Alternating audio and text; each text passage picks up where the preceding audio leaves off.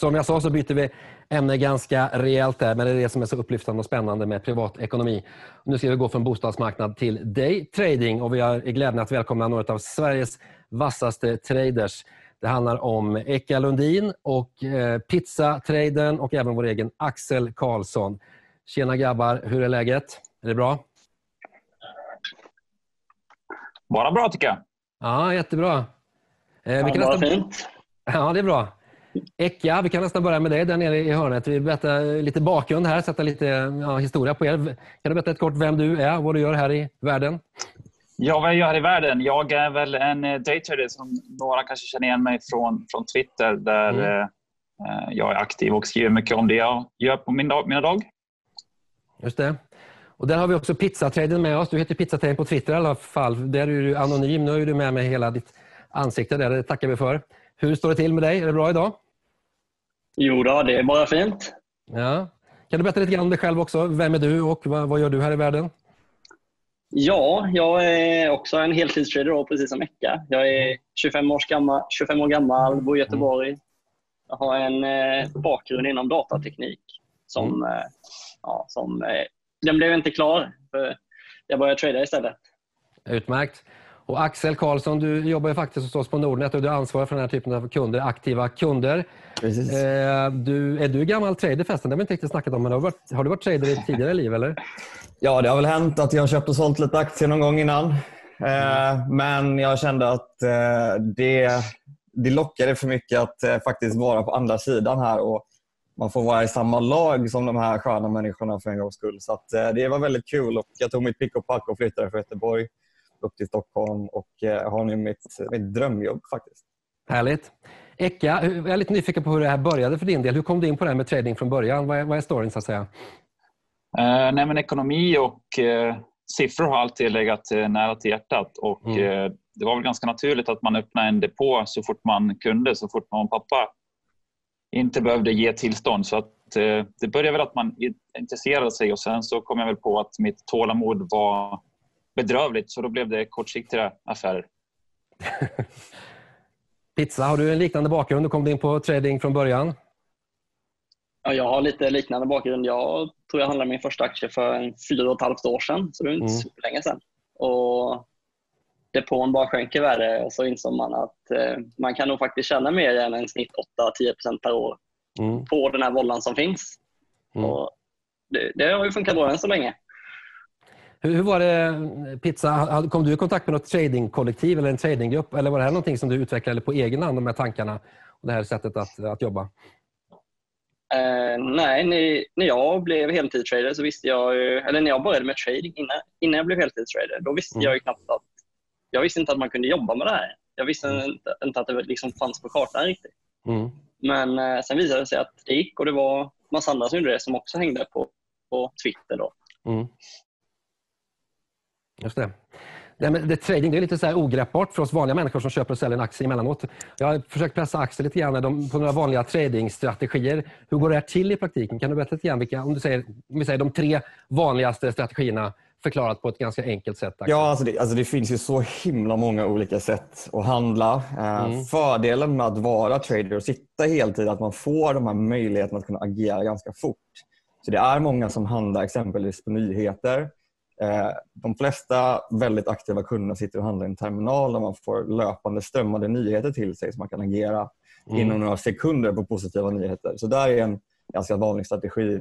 Nyhetstrading alltså, reagera Ja, snabbt på nyheter uppåt och neråt. Mm. Sen så är det ju också nu, nu speciellt då att man, man agerar liksom intradag på de här stora rörelserna som blir i bolag där de fel, alltså vissa aktier kan ju felprissättas väldigt mycket. Att man Mm. bevakar många bolag, man bevakar många marknader och ser och utnyttjar de här rörelserna som är varje dag. Eh, Sen så finns det ju massor. Du kan handla valuta, du kan handla spreads, alltså du kan vara kort SCBA och lång SCBC för att Mm. aktien ska gå ihop. Det finns lite allt möjligt som man kan göra. Eh, Men faktiskt i de här volatila lägena så är det faktiskt väldigt bra att det finns många aktiva kunder som sitter och handlar så mycket som de gör. Mm. För att likviditeten är så dålig i många av de mindre bolagen så felprissättningar kan ju bli så himla stora åt båda hållen. Eh, och då är det bra att det finns folk som sitter och handlar och ställer likviditet så att det blir en mer fair prissättning på de flesta eh, aktierna. Just det. Du var inne på volatilitet och det betyder ju stora svängningar fram och tillbaka under dagen. Eka, är det här någonting som är positivt för er verksamhet? Är det bra för tradingen att det är kraftiga rörelser?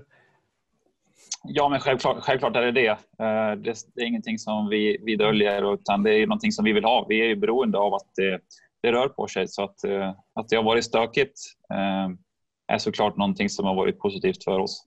Mm. Pizza, hur har de senaste veckorna varit? Har det varit mer lönsamt än vanligt, mer gynnsamt, mer roligare att trada än, än tidigare? Vad är din bild av de senaste typ två månaderna på börsen?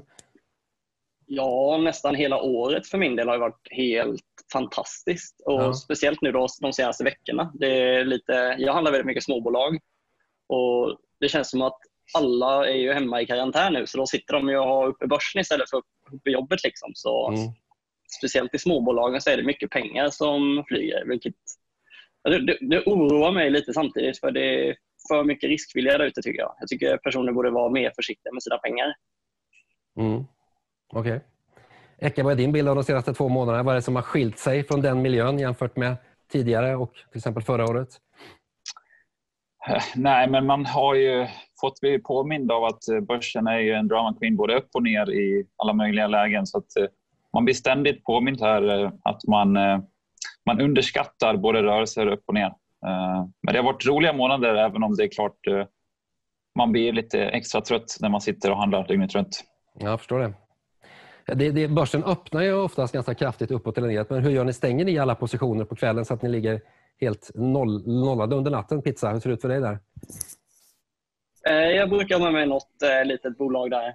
En, två, tre positioner kanske, men eh, till stor del så ligger man likvid för att ja, kunna... Ofta på morgonen så kommer det mycket nyheter i bolag som man vill kunna agera på och kunna fokusera på. Mm. Hur gör du Eka? Ligger du nollad över natten eller har du någonting med dig? När du går och lägger Nej, dig i portföljen? Försöker, försöker och lägga värde i och börja en ny dag på noll. Det är rätt skönt. Såklart kan man ha kvar någonting men då blir det av mindre, mindre positionsstorlek i sådana fall. Mm. Axel, du jobbar ju på bank och då får man inte trada, så du tradar ju inte så mycket.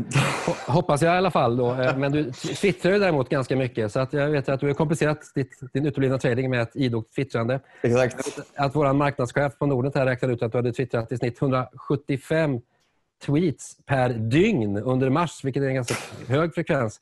Ja, vad, vad har du fått? Och du, du, trade, du, du tittar ju då trading-relaterat, sånt som har betydelse för börsen. Vad har du fått för respons på det här twittrandet? Axel? Ja, men ja, det är bra respons. Jag menar, det är kul och jag känner att jag menar, de här lägena, jag tycker att det är intressant med nyheter. Jag tycker att det är jättekul att följa med i marknaden, det som händer. Och det är ju en, en stor del av varför, vad, vad traders tycker om också. För att man måste vara med. Du måste förstå vad som händer. En aktie som du äger kanske helt plötsligt dör rätt ner för att det kommer någon nyhet i USA. Någonting från typ mm. FDA, någonting som påverkar getingar, vad som helst. Eh, så det är viktigt, speciellt nu i de här tiderna det är så mycket som händer, att man, man är med och följer med i allting. Så att, jo, men absolut, positiv respons. Det är roligt. Det, det, det, liksom, det ger lite extra energi när man sitter väldigt, väldigt länge. Och mycket det är många som är lite oroliga för att du inte hinner sova och äta så mycket, men det, det är väl inga problem Axel? Eller hur ser det på Nej då. Eh, Martin Ringberg, vår Sverigechef, han eh, och min chef Sara håller, de håller god koll på mig och eh, ja, verkligen säger att eh, det är viktigt med återhämtning och eh, så de ser till att jag, jag sköter mig på den tiden. Det är, det är okay. Du Pizza, jag har ju sparat in det lite grann på Twitter också faktiskt och i din bio står det så här Pizzatraden arbetslös mot miljarden. vad, är, vad, är, vad, är, vad är det för story? Vad, vad kan du berätta om det? Ja, nej, det är nog ett litet skämt mot alla på Twitter som heter eh, jag vet inte, skuldsatt till miljonen och det här mot miljonen och mm. allt möjligt. Men eh, jag har större mål än så.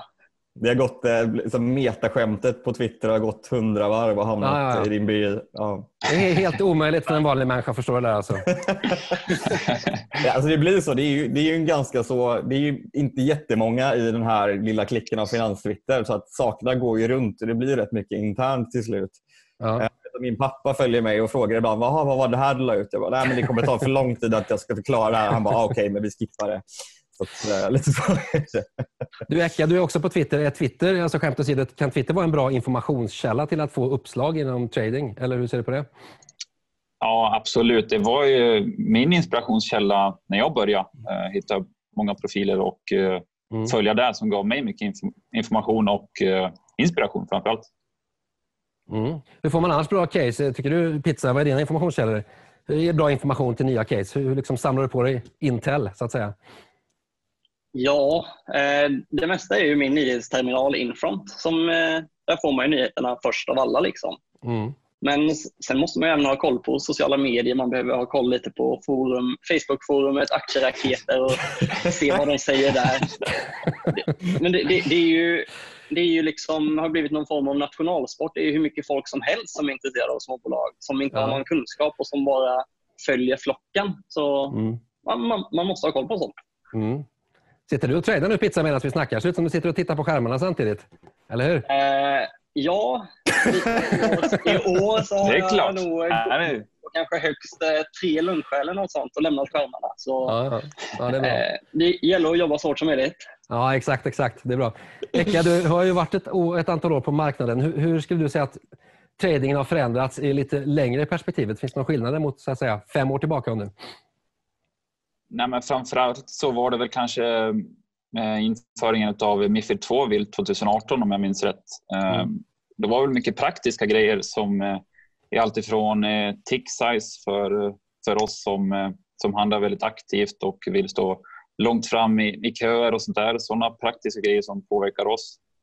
Sen har det också förändrats ganska mycket från, från Nasdaq som har tagit bort det alltifrån transparent i med mäklarstatistik och sådana saker som har blivit svårare mm. eh, för oss. Då. Just det. Jag hade ju Nasdaqs VD här tidigare, Fredrik Ekström. Vad skulle du vilja skicka med honom, Mecka? Vad kan Nasdaq göra för att förbättra villkoret för mänskliga traders, så att säga? Ja, nej, men det, oj, det, det är en lång man... lista. Men okay. det, det, är ju framförallt trans, en allmän transparens till, till marknaden och till småsparare och kanske inte bara, eh, bara gör det som man tycker att de stora robotkunderna kanske gör. Eh, så att, eh, ja. Nej. hur, ser, hur ser ni på det här med robotar? Du snackar robotar. Hur ser ni på det här med robotar? Är, är de liksom inne och stökar för mycket i orderböckerna? Försvårar de för er? Eller? Pizza, vad har du för synpunkt på det här med robotar i orderböckerna? Alltså robotar är väl lite som traders ändå. De är ju våra konkurrenter. Ja. Eh, men samtidigt att det blir mer robotar är en liten naturlig förändring skulle jag säga. Men ofta nu när de har förändrat tick-sizen så tycker jag att robotar förstör en del för de förstör likviditeten. Folk vill inte lägga sig i orderboken längre för man blir alltid frontad av en, två, tre robotar. Och varför mm. ska man då lägga sig i orderboken och tillföra volym? Nej. Ecke, vad säger du? Robotar, vän eller fiende? Uh, nej, men helt klart så, så är det ju som Peter säger, utan det är viktigt att, att det ska finnas likviditet i böckerna och förstör de för, för aktiva att göra det så kommer inte vi ställa priser utan det är ju någonting negativt som inte Nasdaq heller vill. Mm. Uh, men det är ju, de har blivit bättre i allt ifrån att de lägger order lite smartare. De, är, de har blivit bättre efter åren här som har kommit, tyvärr. Mm. Vi ska runda av den här punkten nu. Slutligen, vad har ni för tips till de som sitter här och lyssnar på oss och blir inspirerade och kanske vill börja trada själva? Vad säger du Axel? Hur kan man komma igång med trading bara lite försiktigt för att utveckla sig? Vad ska man göra då, rent praktiskt? Det som jag alltid brukar säga, jag tycker det är viktigt att, alltså skärmfritt, att man förstår hur börsen fungerar i de olika situationerna. Vad händer i ett, ett litet bolag när det kommer en nyhet? Hur rör sig marknaden när det kommer stora makroevent? Börja smått, eh, handla med liksom, ja, försiktighet. Ta de här verkligen som du känner att det här är en bra trade. Det är väl det som jag kan försöka slänga med utan att säga för mycket. Ecke, vad är ditt bästa tips till nya traders på marknaden? Eh, nej, men framförallt ha en terminal och ha bra verktyg eh, för att kunna lyckas. Annars så ligger du efter oss som eh, handlar med, med de riktiga verktygen och kunna agera och se vad som händer i realtid är viktigt. Mm. Pizza, vilka tips vill du skicka med de som blir nyfikna på trading som tittar på det här programmet? Det är väl främst att man behöver lägga ner en himla mycket tid. Det är, det är inte lätt och man behöver verkligen bygga sin egen conviction. Man kan mm. inte följa andra blint och köpa exempelvis bolaget som jag ser att du har på din handsprit där, Clemondo. Där, eh, där småsparare i Avanza har, följer flocken blint och inte riktigt har sin egen conviction, inte riktigt gör sin egen research på Nej. vad det är man faktiskt köper. Utan eh, det gäller verkligen att bygga upp sitt eget psyke. För man kan inte sitta och lyssna på andra hela tiden. Nej. Utmärkt. Stort tack för att ni var med oss idag grabbar och lycka till med tradingen i fortsättningen. Vi hörs hörni. Och det Tack, var det. Tack. Det var det om det för just nu för trading i alla fall. Och tack eh, alla ni andra för att ni tittar på Nordnet Live. Vi har eh, ett antal spännande punkter kvar på agendan och närmast så handlar det om pension och hur man bör agera som pensionssparare i coronakrisen. Så häng kvar, vi är strax tillbaka.